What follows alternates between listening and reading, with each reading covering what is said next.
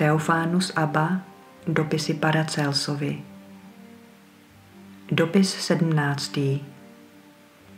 Nořím hlubokou nádobu do studně mystérií a jsem obrovským hřídelem, kterým se stupuje neviditelný řád ke dnu oslnivé výhně. Viktor Igo, Legenda věků, Propast, Zodiak.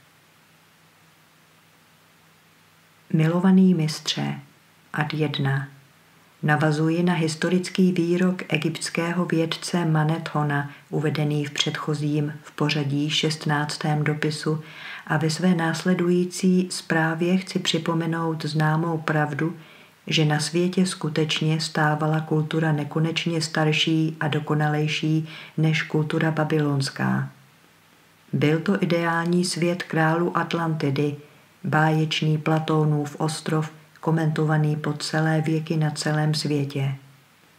Mnozí historikové považovali svět Atlantovců, který podle nespočetných stop existoval několik tisíc roků, přibližně před deseti tisíci lety, za příliš utopický, za smyšlený příklad vzorného státu, na němž byly pokusně demonstrovány i příčiny jeho pozdějšího úpadku. Byla však a zůstane nadále Atlantida skutečně jen utopií?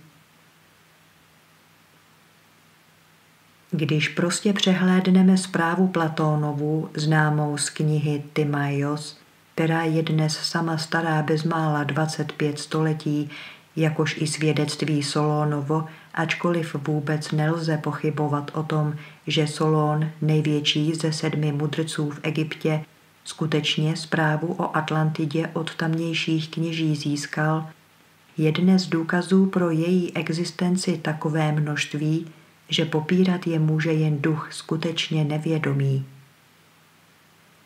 My oba, drahý učiteli a mistře, schodně konstatujeme, že proti vyústění středozemního moře uprostřed Atlantického oceánu, nazývaného dodnes Atlantem, se kdysi rozprostíral ostrov velké rozlohy, ve starověku známý pod jménem Atlantis. Platon praví, že tato země byla velká a podivuhodná říše, která napadala kdysi s velkou přesilou celou Evropu a Azii.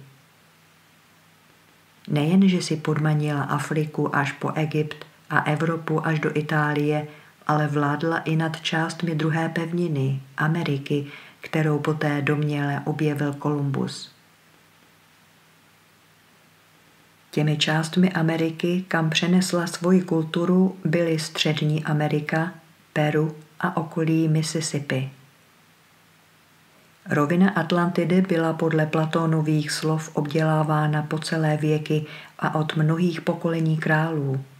Tak byla znázorněna délka doby, které bylo zapotřebí k vývoji dokonalé civilizace. Popisu ohromného příkopu, který vroubil celou zemi kol kolem a do něhož se stékaly čtyři hlavní řeky z obrovských hor, vidíme opakování zkazky o čtyřech rajských řekách ve tvaru kříže obklopeného kruhem, který byl od nepamětných předkřesťanských dob považován za znak zahrady Edenu. Vždyť mezi nejstarší formy kříže náleží, jak víme, i crux ansata, kříž se smyčkou, dnes obvykle nazývaný nilským klíčem, který se hromadně vyskytuje zejména na skulpturách egyptského a koptského umění. A protože byl kříž po mnoha tisíciletích převeden do základních náboženských symbolů všech semických národů a Mojžíšem pak také do tetragramu, výsostného emblému svaté čtveřice, můžeme se oprávněně domnívat, že bájná země Atlantis byla rovněž strůjcem číselné knihy, nazvané pozdějšími národy knihou Kadmovou, u jiných pak Tarotem. Posvátnější znamení, než je kříž v dějinách světových civilizací neznáme. Kříž byl totožný s mystickým tau či tav a stal se proto nejen klíčem skrytého vědění egyptianů, ale vedle chaldejců a féničanů i mexičanů a peruánců.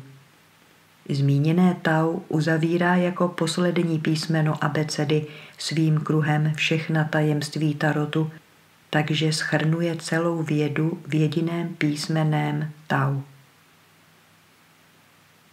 Od pradávna jej bylo možné spatřit na obrovské soše Serapidově v podobě našeho písmene T, na jehož vrchol byl nasazen kroužek. Tato socha byla zničena roku 389 po Kristu vítěznými voji císaře Theodosia, ačkoliv za ní egyptské kněžstvo velmi prosilo. A nelze popsat překvapení španělských misionářů, když se v 15. století při prvním vkročení na americkou půdu stali na každém kroku svědky uctívání kříže Indiány. Kříž jim byl do očí v nejrozmanitějších tvarech, ve městech, při cestách a na vrcholcích hor a pyramid, zejména pak vyrobený ze smaragdu či jaspisu v palácích králů a zámožných vrstev. Pátráme-li, odkud se vzala všechna úcta k tomuto znamení a ona záhadná spojitost starého světa s novým, dojdeme opět k náboženství Atlantovců, jímž byl kříž jediným ukazatelem čtyř nejvyšších prvků či principů vesmírné tvorby. Kvůli všem těmto významům praví moudrost mnoha ezoteriků bylo 16. pořadové číslo Tarotu nazváno Domem Božím. Historik Hardwick tvrdí, že všechny podobné tradice jsou pravzorem k hebrejským dějinám. Můžeme je tedy považovat za rozházené noty téhož nápěvu, který dává při přehánění znovu a znovu tušit, že se v pozadí všech symbolů rozkládal ráj vědomostí Atlantovců. Kříž je na obou pevninách stále spojován s vodou. V Atlantidě s oceánem, v Egyptě s Nilem, aby se později bezmála současně stal na jedné straně výsostným znakem jak babylonských vodních božstev, tak i na straně druhé představitelem božstva dešťů u různých národů Ameriky. U východních chaldejců byl uctíván co by znamení pokračování života, především však jako znak věčnosti. Čína a Skandinávie jej považovali za znak věčného života a nebes. Indie za znamení života budoucího. Kniha Tarot není jen bezpečným uchovatelem náboženských pravd, ale současně i němým svědkem vyspělých kultur a osudů národů po historické stránce. Jméno Poseidon nevynalezl sám veliký Platón, především proto ne, že atlančtí králové se stali řeckými bohy a féničtí bohové vzešli taktéž z generací atlantských králů. Kněz z egyptského města Sais řekl Solonovi, vy řekové jste a zůstanete ve znalosti starověku pouhými dětmi. Není vám známo nic z toho, co se událo, ať již zde nebo u vás za dnů starověku. V našich knihách jsou uloženy dějiny osmi tisíc minulých roků. Mohou však vystoupit ještě dále a říci vám, co naši otcové vykonali před devíti tisíci lety. Mám na mysli jejich dějiny a nejskvělejší skutky. Uctívání Poseidona bylo v nejstarších dobách velmi rozšířeno i v Evropě, bylo však zejména zvláštností námořních kolonií. Poseidon či Neptun je v řeckém bájesloví sice zobrazován jako bůh moře, ale stojí na voze taženém koňmi. Je tedy bohem v pravdě vládnoucím nad zemí, která se nalézá uprostřed moře. Trojhroté žezlo, jindy nazývané Poseidonův trojzubec, se vždy znovu objevuje v dějinách starověku, nověji pak přes všechny náboženské útvary, mistře, až po tvůj známý trojzubec Paracelsův. znak magické moci nad čtyřmi živly, bezpečně ovládanými mořským bohem v symbolické podobě koní. Srovnáme-li náboženskou literaturu různých starověkých národů, zjistíme, že ve výčtu králů či patriarchů vládnoucích před potopou je u všech národů vzato za základ číslo 10.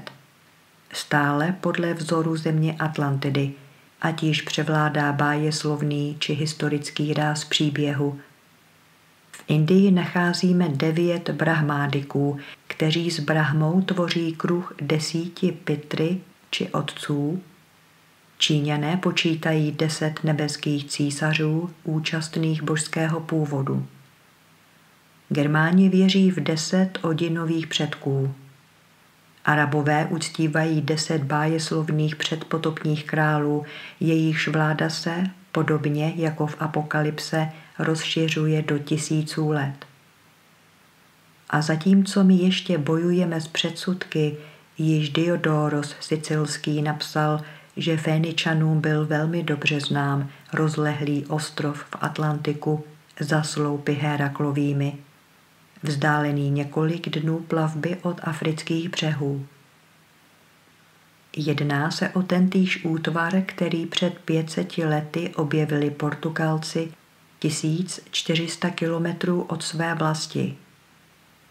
Toto jsou ostroví nazvali Jestřábím a dnes mu říkáme Azory. Jedná se o bohaté ostrovy, které obývá asi čtvrt milionu lidí a které se rozprostírají na rozloze 2314 čtverečních kilometrů.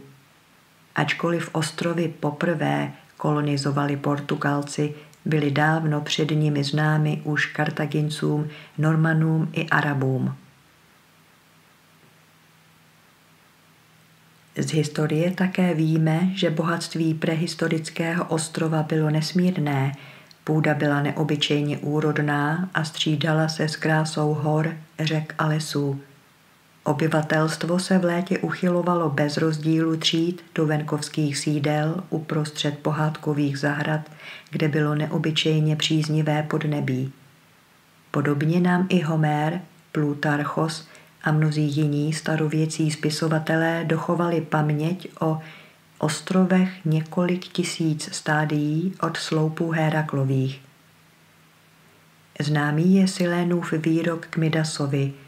Jsou ještě jiné pevniny kolem Evropy, Azie, Afriky, země, kde je taková hojnost zlata a stříbra, že mu nepřikládají větší cenu než železu.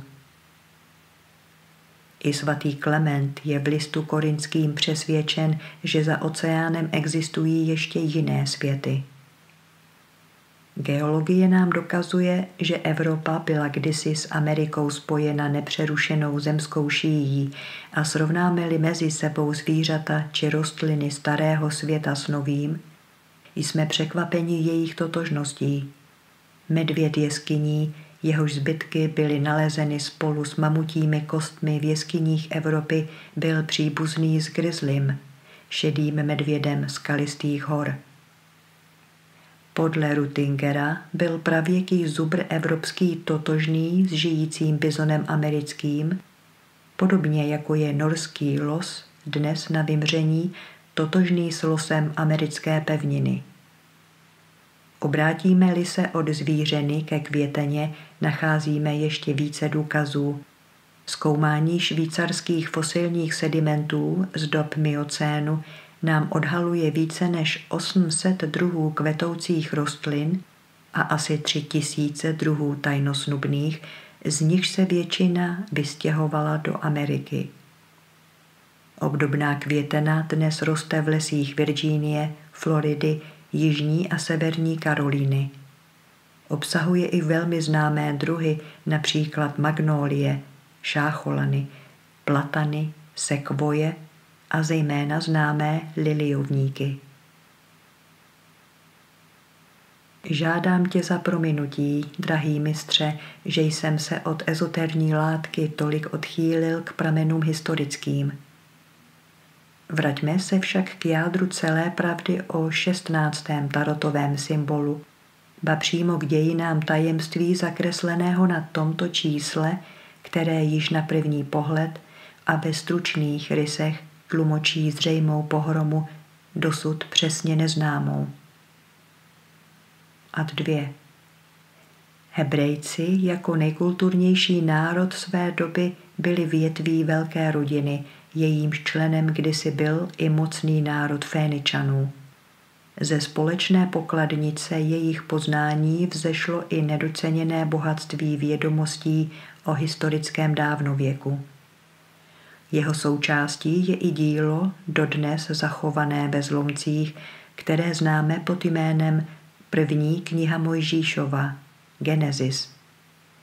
A i když se v tomto dokumentu zachovalo jen nemnoho jisker kdysi velkého plamene kultury, je jisté, že tu Mojžíš chtěl, i když stručnou formou, popsat také dějiny potopy, která se odehrála bezmála šest tisíc let před jeho dobou. Dnes není sporu o tom, že šestá a sedmá kapitola Geneze líčí tutéž historickou pravdu o zkáze, která postihla Atlantidu. Pozornou četbou se zde dozvídáme o zničení rasy prastarého kulturního stupně, která žila ve štěstí a bez hříchu. Stala se natolik oduševnělou, že se podobala andělům, získala velkou moc, až ji později dobyvatelská touha přivedla do zkázy. V tomto konečném podání se všechny zprávy shodují s Platónovým názorem, který o ní praví, že byla zničena vodou.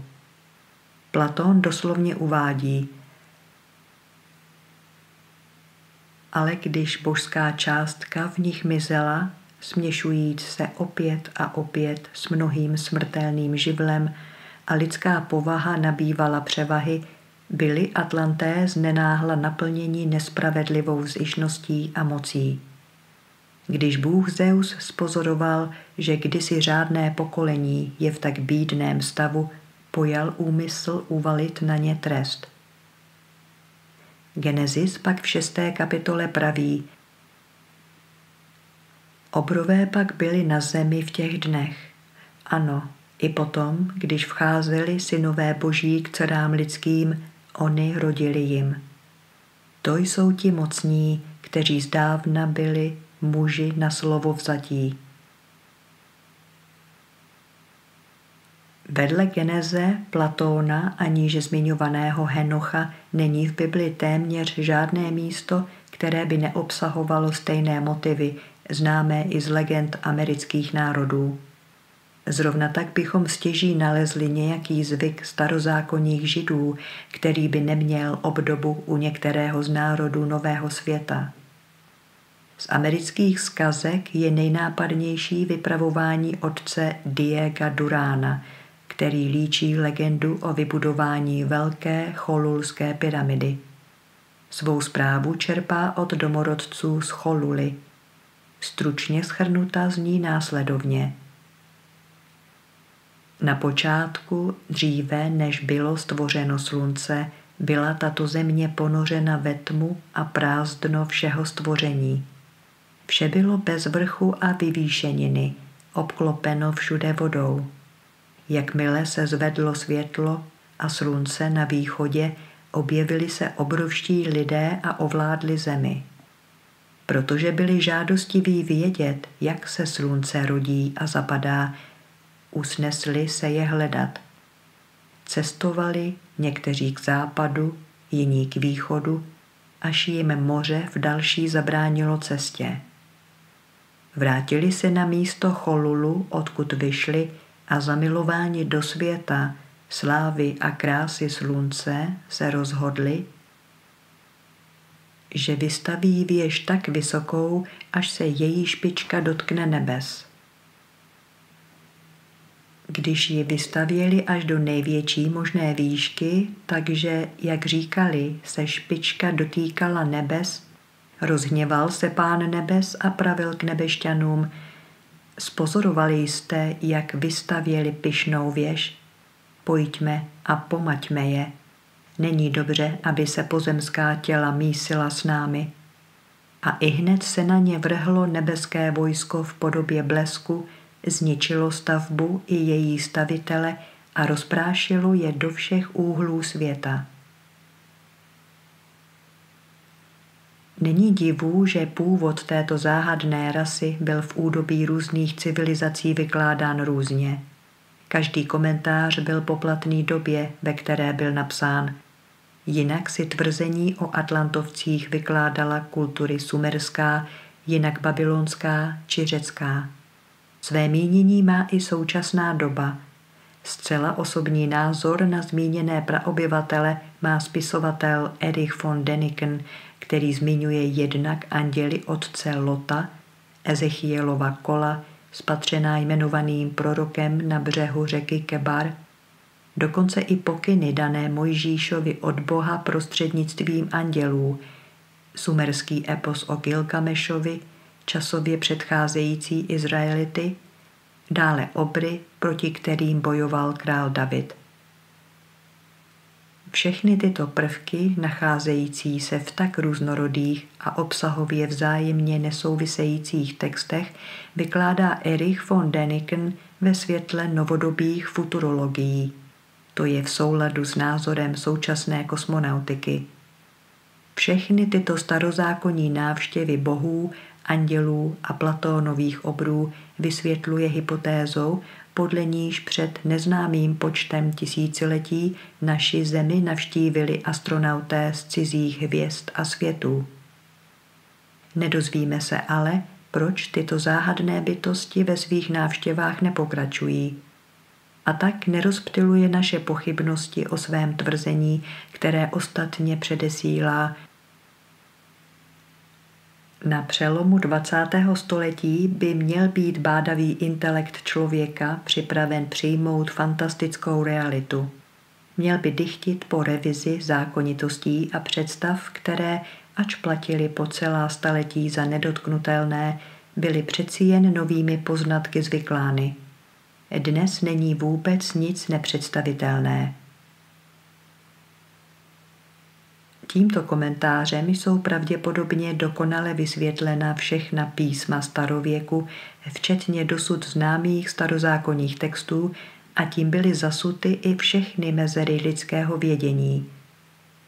Podle autora nám nezbývá než konstatovat Ecce lux in tenebris. Ejhle, světlo ve tmách. Elifas Lévy praví, že šestnáctka představuje měsíční nebe, překážky, změny, slabosti. I když se tato poučka více vztahuje k praxi věštecké kartomancie, není podle popisu pochyb, že se obrazec 16. tarotového čísla opakuje i ve druhé polokouli, neboť muž padající z trosek věže může být pokládán za potomka rozprchlých Atlantovců. Jeho koruna je posledním svědkem slávy oduševnělých předků. Jejich zánik po pádu věže posledního památníku vyspělé kultury se stal i hrobem starých civilizací.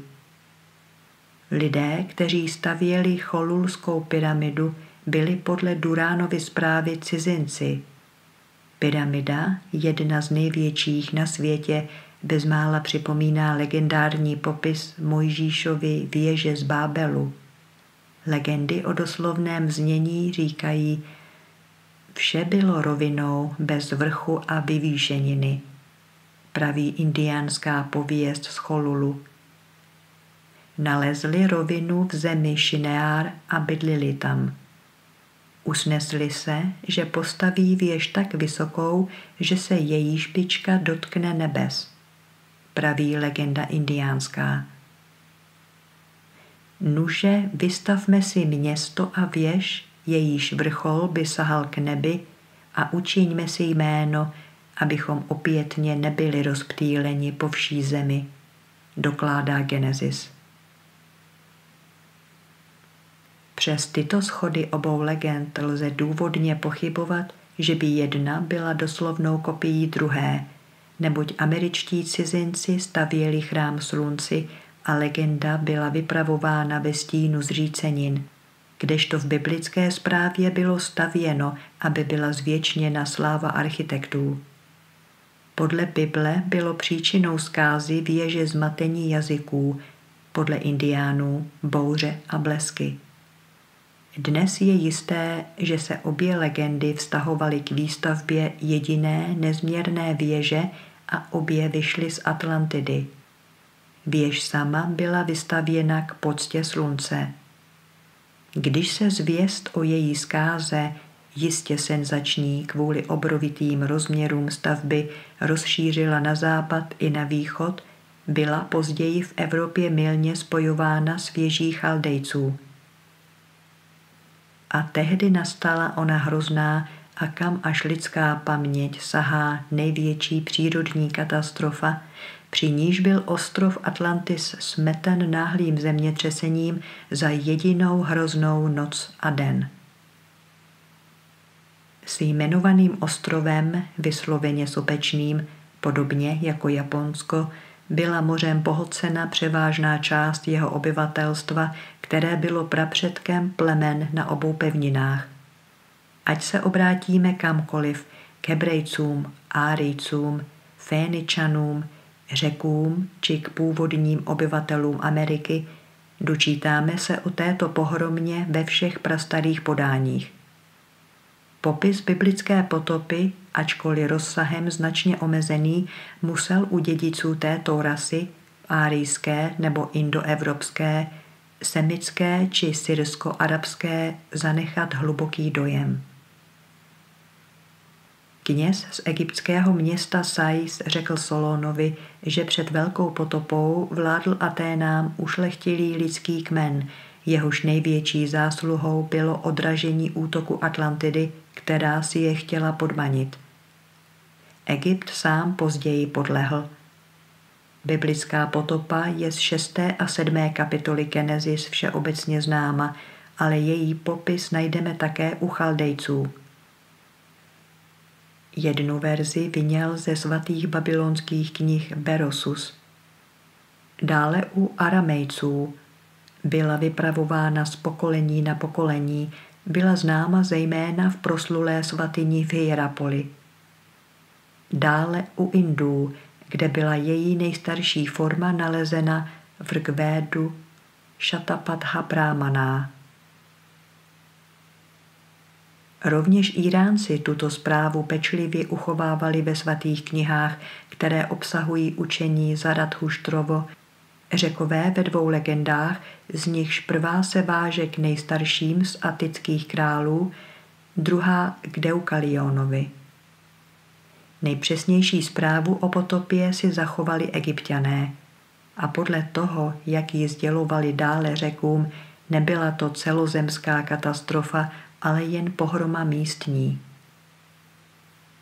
Nechci tě, drahý mistře, dále unavovat, pouze mi ještě dovol dodat, že dnes, po tolika snesených důkazech, je ovšem jen po historické stránce symbolické šestnáctky velmi málo odpůrců následujících tvrzení.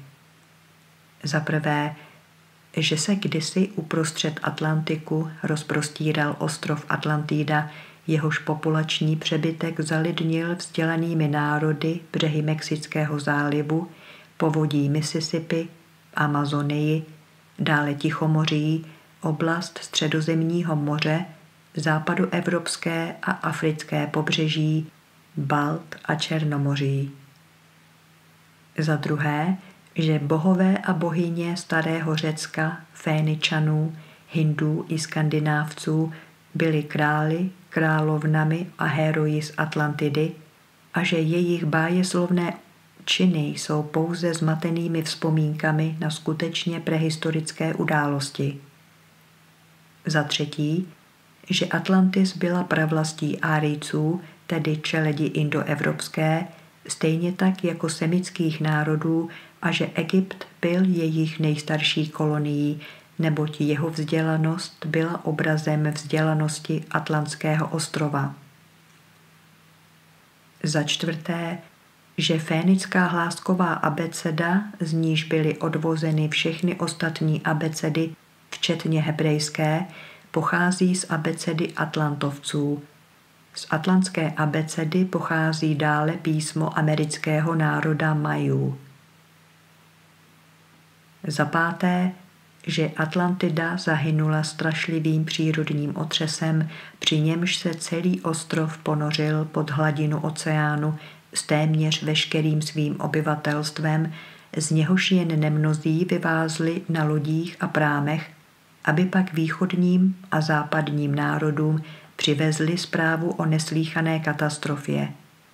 Tato zpráva se pak zachovala až do našich dob po víceméně přesných zprávách v legendách o potopě světa. Ad 3. Pád báječné země Atlantidy otřásl celou zemí do hlubin její pravěké existence. Avšak co říci o nepředstavitelně větší, protože mystické, neméně legendární a opravdovou hrůzu vzbuzující hypotéze o pádu andělů, během něhož se v základech otřáslo mistře tvých devatero nebes. Legenda o poklesku andělů, až příliš sprofanovaná na tak delikátní otázku, se v plné nahotě pravdy vyskytuje ve velmi vážném díle, kterým je dodnes záhadná kniha Henochova, stále považovaná za apokryfní. Kniha Danielova vznikla, jak známo, kolem poloviny druhého století před Kristem. Za 50 let po ní byla napsána první výpravná část díla Mešafa Henoch a za dalších 60 let, téměř v předvečer Kristova narození, její druhá, takřka apokalyptická část podobenství Henochova. Tato díla nebyla pojata do sbírky oficiálně uznaných starozákonních knih, které v souhrnu nazýváme Biblí. A tak se nekanonické knihy Henochovy staly apokryfními knihami, kterýž to výraz užíval římskokatolický klérus vždy tam, kde se vinou delikátnosti textů dostával do rozpaků. Ztratili tím snad pravdy uvedené v apokryfních knihách na svém významu? Nezapomeňme, že v Tiberiadě na pobřeží Genezareckého jezera, jež je od Nazareta odděleno jen úzkou horskou vyvýšeninou, v řecko-římském sídelním městě Tetrarchy Heroda, kdysi kvetla slavná škola rabínů, obírající se studiem mesiářské kabaly, ba přímo fyzikou sedmi dnů stvoření – pro svůj veliký význam a odvahu zachovat v písemné formě ona tajemství, která dosud platila za pravdy nejvíce ukrývané, ezoterní, byla tato škola velmi populární. Knihu Henochovu nazvala tato škola starozákonní apokalypsou a vysoko vyzvedala její význam. Profesor Couch nazval Henocha starozákonním Dantem a nikoli neprávem – podle zmiňované Tiberiady a podle skutečnosti, že Henochovi padlí andělé a současné svůdcové prvního lidstva sestupují na horu Hermon, bylo usuzováno, že kniha vznikla nejdále v severní Palestině, snad v Galileji v Ježíšově vlasti. Hebrejský, respektive aramejský originál knihy bez stopy zmizel a je možné, že jej v pozdějších křesťanských dobách zničili sami židé. Mohlo se tak stát proto, že Mesiáš je v Henochovi velmi podoben Kristovi. Avšak ve městě Achmímu, Panopoli, v horním Egyptě byl nalezen papyrus s řeckým překladem první části knihy a v Habeši se zachoval etiopský překlad části druhé. A ty, mistře, Souhlasíš s mým názorem, že v dávných dobách si Henocha, již kvůli jeho znalostem dějin Atlantidy a spojitosti pravd o pádu andělů, vážili daleko více v Egyptě než v samotné Palestině. Znovu se vracím, mistře, k charakteristice zjevu Atlantovců. Připomínám, že podle shodné domněnky historiků byli Atlantovci krásní lidé vysoké postavy, jemné pleti a oduševnělých tváří. Jejich ústa jsou malována sevřená, plná rozhodnosti a pevné vůle. První kniha Henochova praví jedna. Když se synové ličtí rozmnožili, rodili se jim za těch dnů krásné a milostné dcery. Dvě. Když je pak spatřili andělé, synové nebes, zatoužili po nich a pravili mezi sebou, nuže vyvolme si ženy mezi dcerami lidskými a sploťme děti. Tři. Semiaza, jejich nejvyšší, k ním však pravil, Bojím se, že se asi neodhodláte ten čin vykonat, takže budu nucen tak velký hřích odpikat sám. 4. Tomu všichni přísahali, zaklínali se a sebe navzájem zavázali, že se toho úmyslu nevzdají a provedou zamýšlené dílo. 5. A znovu se všichni zapřísahali dohromady a zavázali se navzájem k tomu zaklínáním. 6. A bylo jich celkem dvěstě. Záhadný pád andělů měl a stále má mnoho komentátorů, kteří svými hypotézami na jedné straně vyvolávali úžas, na druhé byli příčinou velkého odporu.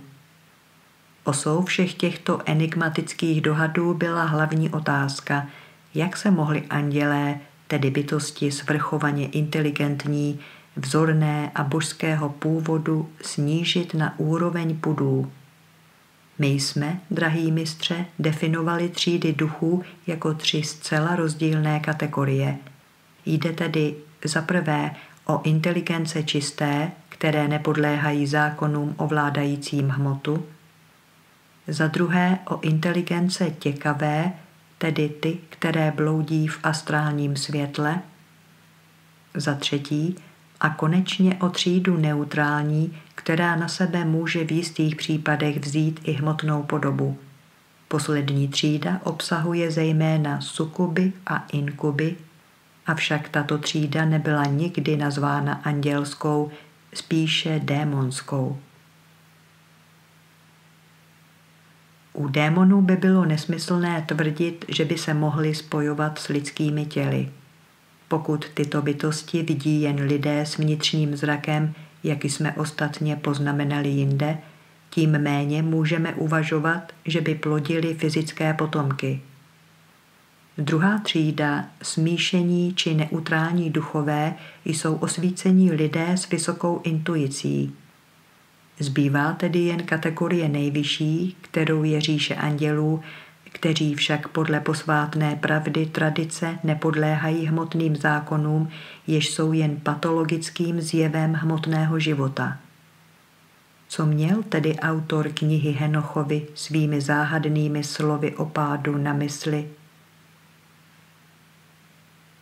Je všeobecně známo, že kniha Danielova, uznávaná za kanonickou, měla velký vliv na světové dějiny.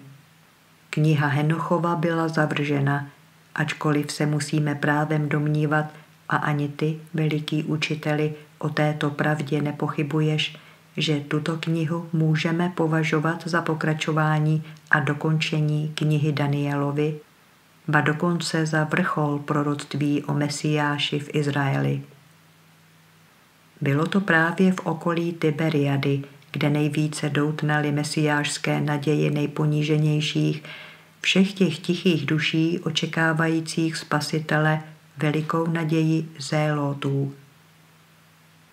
Autor Henocha sice není znám, ale vzhledem k faktu, že kniha byla zřejmě napsána krátce před Kristovým narozením, je pravděpodobné, že byl jedním z těchto horlivců.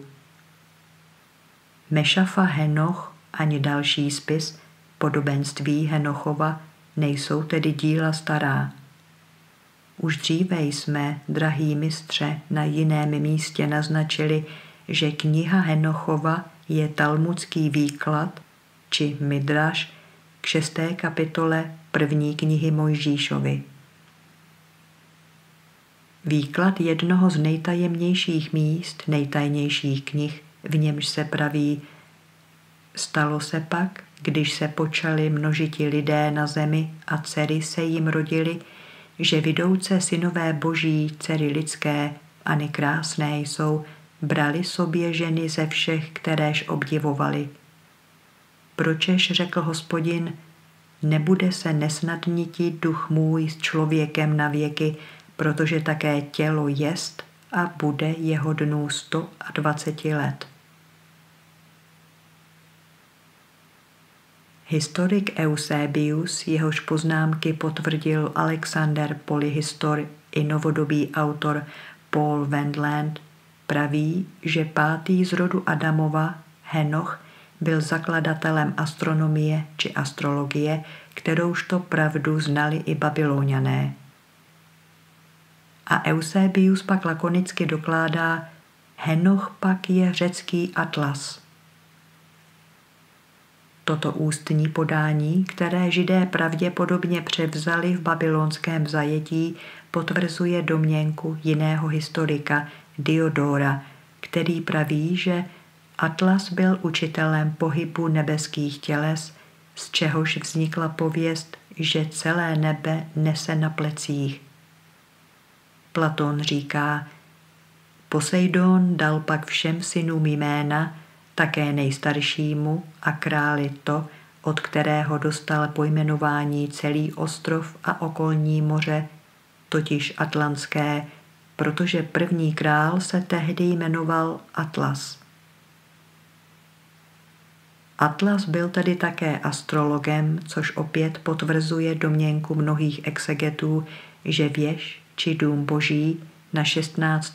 tarotovém obrazci byl obrovskou hvězdárnou, a že jednou z obětí padajících trosek, která je korunována a symbolizuje de facto celý stát, byl poslední z králů země Atlantidy. Již na jedné z předchozích stránek jsem mistře poznamenal, že bohové severanů, latinských států a zejména bohové starověku byli ve skutečnosti králi, královnami a hrdiny z Atlantidy – jejich vynikající činy a vynálezy, včetně astrologie, kouzel, chemie a magie, jsou jen vzdálenými vzpomínkami na dávnověké události nejstarší známé civilizace světa vůbec. Všichni lidé v Egyptě věří, že to byli andělé, kteří odhalili lidem zlá kouzla a umění tak praví vykladač Bible Serena ke čtvrté knize Mojžíšově. Citáty patriarchy židů o obrech opakuje znovu křesťanský spisovatel Cassianus v pátém století. Egyptská kultura si víru v padlé anděli zachovala dodnes. Staří otcové, z nich pak zvláště Zosimos, Pandoros a zejména autor nástinu křesťanské kabaly v díle Pistis Sofia, z níž jsem uveřejnil mnohé pravdy v reví pro ezoterní chápání kultury Logos, knihu Henochovu velmi dobře znali. Sám Platón nás přesvědčuje. Tito atlantovci měli takové osobní vlastnosti a takovým asi způsobem stále stejným řádně spravovali jak vlastní obec, tak i Heladu. Proto byli po vší Evropě a Azii vyhlášeni a měli ze všech tehdejších lidí nejslavnější jméno jak pro svou tělesnou krásu, tak i pro všelikou výtečnost duší. A tito vznešení vládci ostrova, opředeného ještě podrobnějšími a většími pravdami, které se nám dnes kvůli velkému časovému odstupu zdají bájemi a mytologiemi, zahořeli podle všech souhlasných zpráv milostí k ženám okolních států, které postupně dobily. Podrobili si část španělského pobřeží, část Itálie, neumezeně vládli nad Libií, pokořili si skoro celý Egypt a dlouhou dobu bojovali s vlastí Platónovou. Tuto velkou a takovou moc, praví dále Platón, přivedl Bůh proti naší zemi. Proto není celý starověk, pokud bychom spolu s Platónem pohlíželi na dějiny Atlantidy pouze jako na mýtus, nijak překvapen skutečností, že nejen andělé, ale i sami bohové se spojují se smrtelnými ženami a plodí s nimi celé generace hrdinů a mocných rodů. Stejně tak i celý antický Olymp plodí nesčetné řády a hierarchie bohů a polobohů. Apolón, nejpůvabnější z nesmrtelných bohů, jemuž Jupiter svěřil oslňující spřežení slunce, má za sestru Dianu, první a nejvíce vyhraněný typ původní egyptské Isidy. Ale tito olympští bohové neplodí své slavné potomky vždy jen s bohyněmi, jim rovnými, ale snižují se i ke krásnému lidskému pokolení, aby zejména u žen vyzdvihly své vynikající duševní vlastnosti. Již z vrchu bylo řečeno, že bohové si rozdělili veškerou zemi, tu na větší, tu na menší díly a zařizovali v nich pro sebe svatyně a oběti. Podobně i Poseidon, dostav ostrov Atlantský, usadil své děti ze smrtelné ženy na takovém asi místě ostrova. Atlas pak, jeho prvorozený syn, měl četné a vynikající potomstvo. Nejstarší král odevzdával vždy vládu nejstaršímu ze svých synů a tak zachovali posloupnost po mnoho věků. A když božská částka stále více v nich mizela, směšujíc se opět a opět s mnohým živlem smrtelným a povaha lidská nabývala převahy, tehdy již, nemajíce síly více snášet povinnosti a statky, kazili se, až ohyzdnými se jevili tomu, kdo dovedl dobře vidět, protože ztratili nejkrásnější z nejvzácnějších statků. Tak opět soudí, drahý mistře, Platón. Dovol, abych znovu poznamenal, že Mojžíš v Genezi a Platón v Tymájovi říkají jedno a to též. To, co je dělí, je pouze velký rozdíl času, ve kterém oba atlantskou mytologii studovali. Jistě souhlasíš, že předpotopní svět není nic jiného než Atlantis a deset atlantských králů je deset rodů od Adama po Noema. Atlantis je zemský ráj, praví mnozí, odtud také vyšel Noe a v korábu přeplul přes vody potopy z vnějšího kruhu země do kruhu vnitřního. Nevíte, praví se dodatkem v Tymájovi, že v naší zemi žil před potopou nejkrásnější a nejušlechtilejší rod na světě. Těmito slovy nadzdvihl také sajský kněz malý cíp závoje nad tajemstvím, které svou záhadou po mnohá staletí zaměstnávalo mnohé generace těch nejvyspělejších duchů. Mladí jste všichni svými dušemi, pravil kněz, neboť nemáte v nich žádné staré myšlenky získané podáním, ani žádné vědomosti časem zešedivělé. To není smyšlená báje, nýbrž pravdivé vypravování, řekl Sokrates Platónovi a umlkl. Solón a Sokrates Platónovi napověděli a odmlčeli se. Hloubavý Platón však pátral dále. Jsou komentátoři, kteří tvrdí, že Platóna se při psaní dějin Atlantidy, jak sám přiznal, zmocňoval smrtelný strach. Tobě je, veliký mistře, stejně jako mě známo, že Platón Atlantidu také nedopsal a jeho pero zůstalo stát nad nedokončenou větou. Zemřel strachem, nedopsav ji, slyšeli jsme. A když čteme poslední řádky Tymája, zdá se nám skutečně, že autorova ruka pozvolna slábne. Jen nemnozí si však uvědomují, že Platón, který byl původně básníkem, a teprve Sokratovým vlivem se stal filozofem, si svoji smrt předem komentoval. Neboť i když napsal dialogy metafyzicky mnohem klasičtější, žádný z nich nebyl tak hluboký historickým obsahem. Či je snad jenom mým zdáním, drahý mistře, že v Atlantidě byla obnažena tragédie celého jeho života? Z ní Platon onemocněl a s ní umírá. Ostrov Blažených byl jeho posledním horečným snem, který chtěl záměrně prožít až na konci svého života. Kdo ví, zdali netušil, že ostrov Atlantis byl místem jeho předchozí palingeneze. Ad 4 Touto stručnou analýzou počátku Platónovy Requies ukončuji, drahý mistře, stať, která by svým charakterem, jak jsem řekl výše, patřila spíše do rámce 16. dopisu, ale jejíž zbývající část jsem kvůli příliš obsáhlému textu přemístil do dopisu za ním následujícího.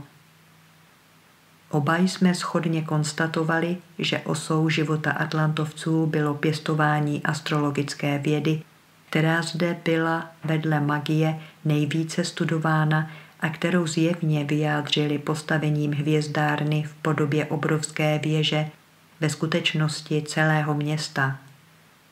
Usoudili jsme, že tato monumentální stavba byla především symbolem nebeského firmamentu se všemi jeho oběžnicemi, stálicemi a zvířetníky, jak se o tom dále rozepíší více. Ostatně při srovnání obou obrazů, šestnáctky a sedmnáctky, je nejlépe vidět, jak se tato dvě čísla svými charaktery prolínají. A proto považuji za logické, abych v definici posledního jmenovaného čísla dále pokračoval poučkou zasvěceného Osvalda Wirtha, který praví, Astrologie byla v minulosti nazývána mimozo pouště, akácií, neboť navzdory všem protivenstvím a skepsy, která její význam jako vědy do nedávné doby provázela, ubránila se na poušti pochyb svému zániku. Odtud plyne její dnešní význam jako květiny nesmrtelnosti – Znát dobře akácii je to též jako znát poučky přivádějící k odhalení tajemství mistrovství.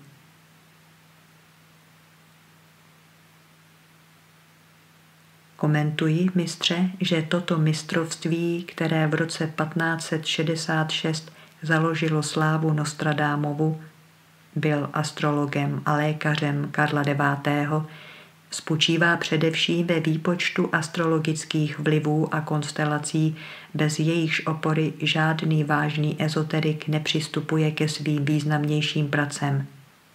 Dále pak rozkvétá ve znalosti signatur, těchto stigmat druhotných sil na těle přírody, do kterých nás již v pradávnu zasvětila Isis, matka mystérií, která dodnes po celém světě hledá části rozdrásaného Osíridova těla. Musíme ji v hledání napodobit, abychom pomocí intuitivní anatomie nalezli na duchovním těle jejího božského chotě nejen zmíněná stigmata, ale i všechny ostatní stopy ukazující na působení ducha od počátku stvoření světů a eonů. Všechny tyto pravdy na sedmnácté kartě tarotu znázorňuje klečící pana, která ze dvou nádob současně vylévá drahocený obsah, ze zlaté amfory, kterou drží v pravé ruce, vylévá vařící, či spíše ohnivou tekutinu devatera hlavních emanací ducha do kosmického jezera psychických sil, ze stříbrné nádoby pak lije na žíznivou zemi zúrodňující obsah vitálních sil. Nepochybuji, mistře, o pravdě, kterou od tebe právě slyším, že zlatá nádoba je téměř totožná s tou, kterou drží v pravé ruce anděl představující blahodárné vlivy slunce na tajemství čísla 14. Jen s tím rozdílem, že obě nádoby sedmnáctky vyjadřují mimo to i obě tváře a póly planet, respektive jejich kladné mužské a záporné ženské charaktery. Skutečnost, že vlivy vyšších udržovatelů života se vztahují i na sféru psychickou, respektive morální, dokazuje vedle symbolického obrazu akácií mimos rozvinutá růže, umístěna v pozadí, symbol všeho, co krášlí pozemský život, květ lásky a krásy, na kterou usedl motýl psyché.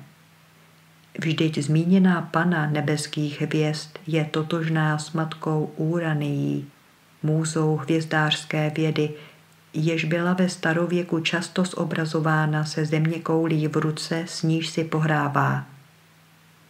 Obě nádoby, plné esence života, jak bylo řečeno výše, a protikladů ukrytých v charakteru planet, ukrývají ve svém mysterijním obsahu také příčinné zákony kosmu v druhotném světě, sympatii a antipatii, světlo a stín, harmonii a disharmonii, aspekty dobré a neblahé, tedy ve směs charakteristiky užité ve hvězdářství.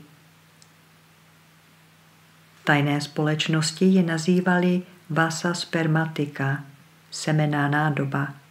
Tento název čerpali mistře z tvé nepřeberné pokladnice vědění. Z téhož důvodu jsme se, drahý učiteli, již dávno shodli na definici, že se zde především jedná o nádoby či urny s obsahem stále živých astrálních semených zárodků subjektivního života. Tyto dvě základní esence byly ve starých vědách nahrazovány různými jmény, z nichž jedno z nejstarších bylo v pojetí hebrejců tlumočeno naukou o dobrodějném vlivu slunce, Iša, životní oheň, který se zasnoubil s pasivní panou lunou, Šena, symbol posilujícího spánku. Byl to tentýž oheň, světlo, poznání božského původu, o němž praví první svatá kniha mágů východu, Zend a Vesta, že jej Zarathuštra podobně jako Prométeus, obdržel z nebe. Proto vždy bylo první povinností perských kněží, mobedů, dasturů a herbadů, aby chrámový oheň, který křesťané, poučení opět řeky a římany, napodobili v podobě věčných lamp ve svých chrámech, nikdy nezhasl a zejména, aby nepřišel do styku s vodou nebo zemí. Podle Zend a Vesty řekl jeden z nebeských géniů k Zaradhuštrovi před jeho vtělením. Ty, který sestupuješ do říše bojující, staneš se požehnáním celé země, kterou ochraňuj od krve a špíny mrtvých. Svěřujeme ti v ochranu čtyři základní živly života, oheň, vzduch, nebe a zemi, které zde jsou čtyřmi prvotními živly stvoření. Řekni svým učedníkům, aby astronomie, tedy předvídání budoucnosti z běhu hvězd, jejichž svrchovaným knížetem je Mitra, byla jejich hlavní zálibou, neboť Mitra triumfuje v principu dobra a všechno ví, protože má tisíc uší a deset tisíc očí. Jako doplněk bych zde rád, mistře, poznamenal, že výše uvedený pojem hebrejského jména Iša znamená také oheň obětního oltáře. Každý rabín kabalistické vědy ví, jak je ostatně zřejmé z tabulky planetární korespondence, že jednotlivé dny týdne byly zasvěceny vždy jedné planetě. Den první či nedělní Hebrejský Yom Rishon byl odvozen z pojmu roš, hlava, který jinotajně tlumočil hlavu bytí Ein Sof. Pondělí Yom Sheni bylo zasvěceno luně a vzniklo od slova šena, spánek, na jehož spojitost s magnetickým vlivem luny jsem upozornil výše. Následující dny byly odvozeny od číslovek. Úterý, jom, šliši, kdy šliši znamená třetí. Středa, jom reví, čtvrtý. Čtvrtek, jom chamiši, pátý. Pátek, jom šiši, šestý.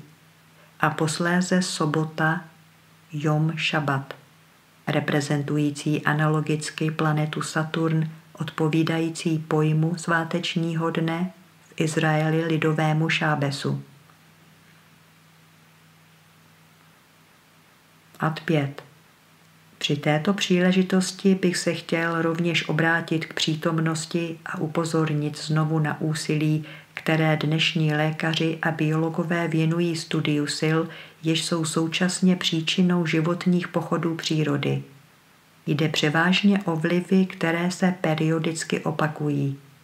Stále častěji je konstatováno, že nejcitlivější objekt vyšších příčin, člověk, podléhá chorobám právě vlivem těchto sil a rytmických vlivů. Je zjištěno, že všechny tyto děje jsou plynulé, dokonale zákonité, ale nikdy náhodné a že jejich poznáváním se před námi otevírá nezměrná oblast vztahů či korespondencí mezi těmito vyššími silami a celou naší přírodou. Již náš kosmobiolog Růžička propagoval heslo, podle kterého všechno pulzuje a všechno se vlní, neboť vesmír ve svém globálním celku a složité soustavě vdechuje a vydechuje a tím řídí vývoj i zánik všech organických i anorganických životů. Země tyto životní síly, vždy znovu se regenerující, pasivně přijímá jako hotovou věc. Stejně jako bere hvězdné vlivy v podobě bohyní osudovosti. Univerzitní kruhy jsou překvapeny, jaký má luna vliv například na člověka, neboť zejména chirurgie dnes ví, že embolie, čili ucpání krevních cév, má nápadný vztah k povětrnostním vlivům. Ukázalo se, že se embolie zvláště často vyskytuje při nízkém tlaku vzduchu a že někteří lidé reagují na lunární fáze neurastený, jiní zvýšeným krvácením zran a že menstruace žen při novu a úplňku probíhá jinak než při ostatních fázích. A lékařská věda ví stejně tak dobře, že vždy, když zesílí protuberanční činnost slunce, provázená polární září, dochází ve chvílích této zvýšené eruptivní činnosti k většímu množství srdečních kolapsů a infarktů. Magnetické bouře provázené hurikány, tajfuny a větrnými smrštěmi nejsou posledním následkem výbuchů sluneční energie.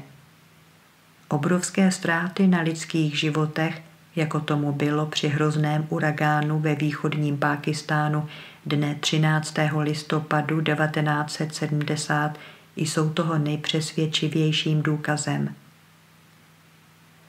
Tento podiv nad účinkem vyšších vlivů by byl mistře menší, kdybychom si uvědomili, že například Luna je v podstatě obrovským médiem a regulátorem nebeských sil.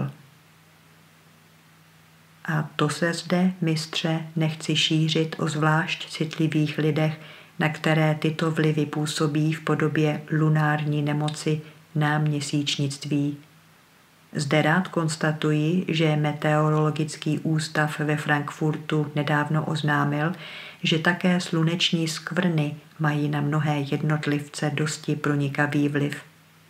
Tato reakce na účinky hvězdných těles dala vznik teorii o slunečních a měsíčních lidech s definicí, že kosmické vlivy Slunce a zemského satelitu Měsíce jsou určitého elektrického charakteru, který se mění a dostavuje při změnách povětrnostních podmínek, jejíž účinky se měří přesnými přístroji. Jsou to podle úsudku stejné vědy jacísi električtí cizopasníci, kteří přicházejí nárazovitě na zem při bouřkách, slunečních skvrnách, poruchách zemského magnetismu, severní záři a podobných úkazech. Pražský kosmobiolog Erik Heina viděl příčinu těchto vlivů v kosmickém a ultrakosmickém záření. Je to energie, která k nám přichází z rozličných zón obklopujících nás světů, pravil, ze světového prostoru, kde vlnění této energie je velmi krátké a tudíž velmi pronikavé. Astrolog by řekl, že přichází z ohniska sfér a planet, jsoucích v určité konstelaci. Dnes se, mistře, také konstatuje, že tato délka vln se mění a není ustálená, protože je skutečně závislá na postavení oběžnic. Z takzvané interference, křížení, kmitání, chvění, z takzvané interference světelných paprsků mezi jednotlivými délkami kosmického záření vzniká výsledné záření, záření ultrakosmické. Ad 6. Existuje však množství jiných jevů, jejichž fyzikální původ a příčinu psychologického vlivu na člověka, zvířata a biologického účinku na přírodu věda dosud nezná. Ukazuje se také na magnetické póly, severní a jižní, které se posunují podle složitých zákonů a mají velký vliv hlavně na živočichy. Zejména ptáci jsou obdařeni zvláštním funkčním centrem v mozku, řídícím jejich orientaci pomocí sledování siločar magnetického pole. Toto je pak bezpečně vede na jejich dlouhých cestách. Dráha hvězd, pravý Zohar, byla určena v harmonické jednotě se svatým jménem. A pokračuje, existují jen dva základní světy, svět hoření, vyšší, a svět vnější, který je analogickým modelem vyššího světa vzorů.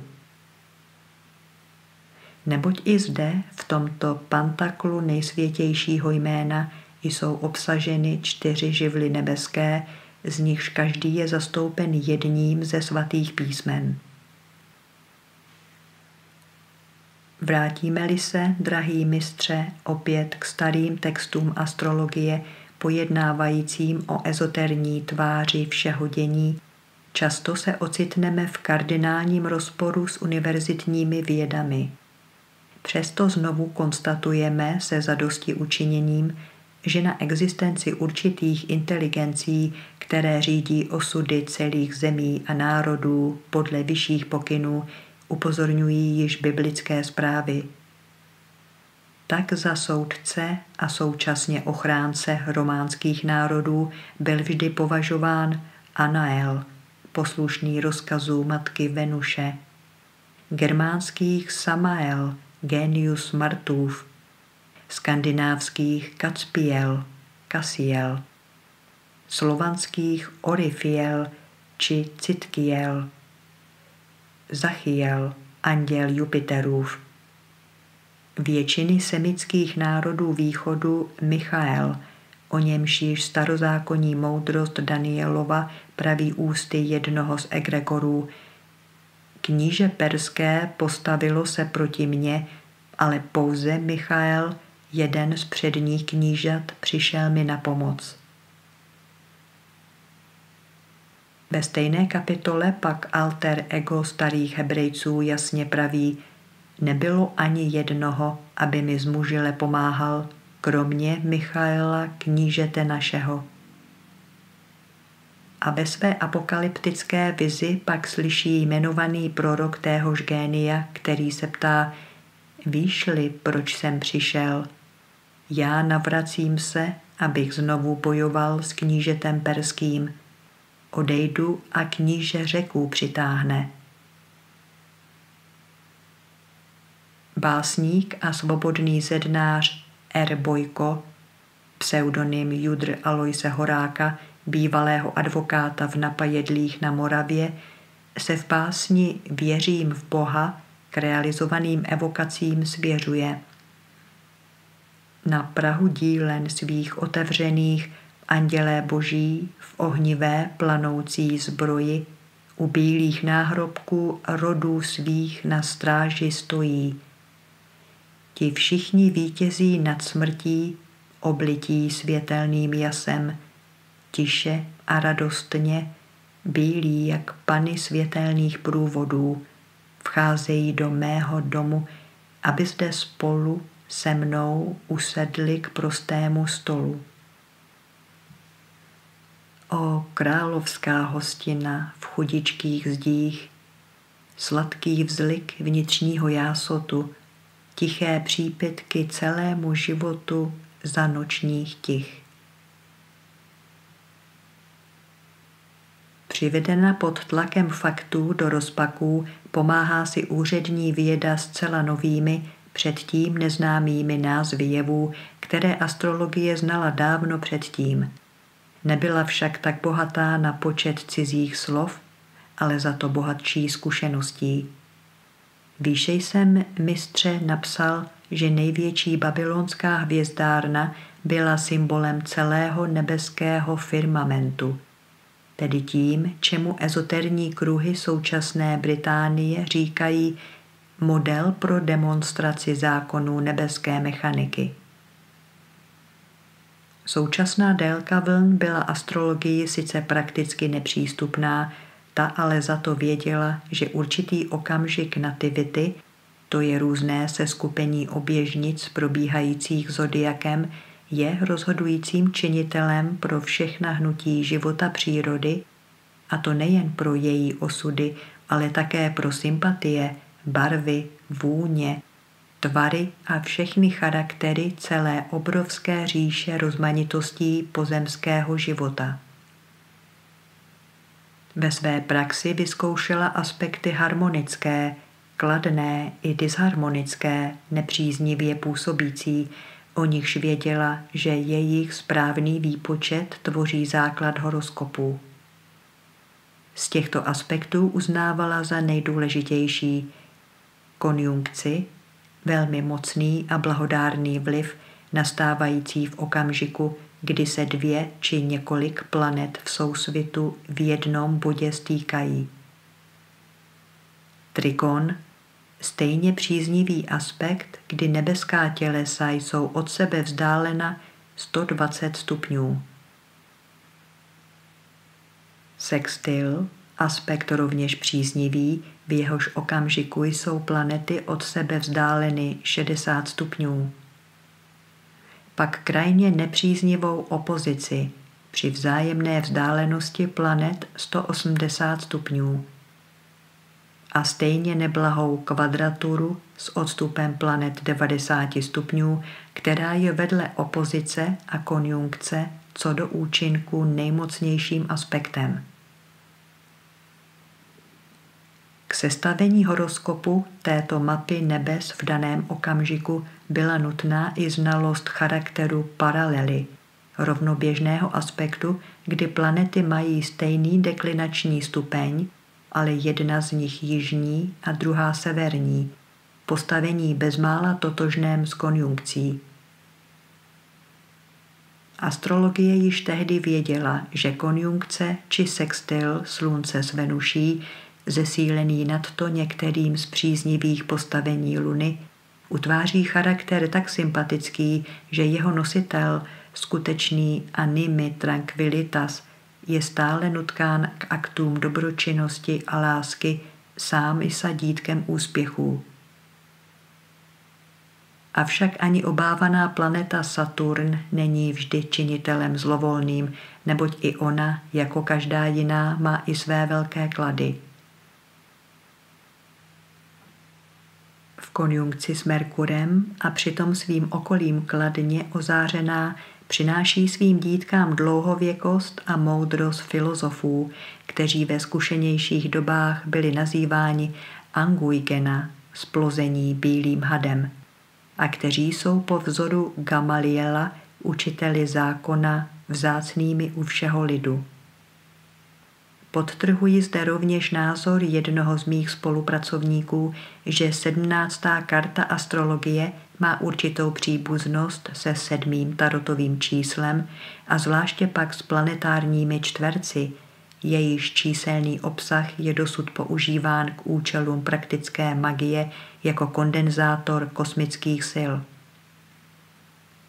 Přikláním se však k tvému názoru, mistře, že rozumný člověk vrozeným neblahým vlivům nepodléhá, ale přemáhá je silou své pevné vůle. Za nejdůležitější čin člověka na světě pokládám úsilí, aby vzdor všem neblahým vlivům a protivenstvím alespoň na sklonku života ustálil svůj duševní stav. Se zázračnou divinací, ačkoliv není žádnou filozofkou, definovala jej spisovatelka Sonia Špálová slovy.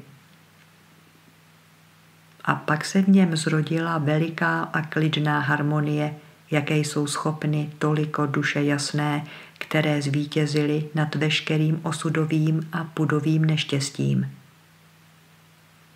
Ve své povídce Stařec nám Stanislav Tom smlačí jako skutečný fatidikus věštec věčného života krásně napověděl a poznal již, že lidé se objevují na světě jako vyvrženci a že celý jejich život je návratem. To, co se kdysi nazývalo moudrostí a zdobilo staré lidi, je jen schopnost uvědomit si, odkud a kam se vracím. Moudří se smrti nebojí, rozumějí. Starci bylo jen líto těch, kteří umírají dříve, než toto pochopí.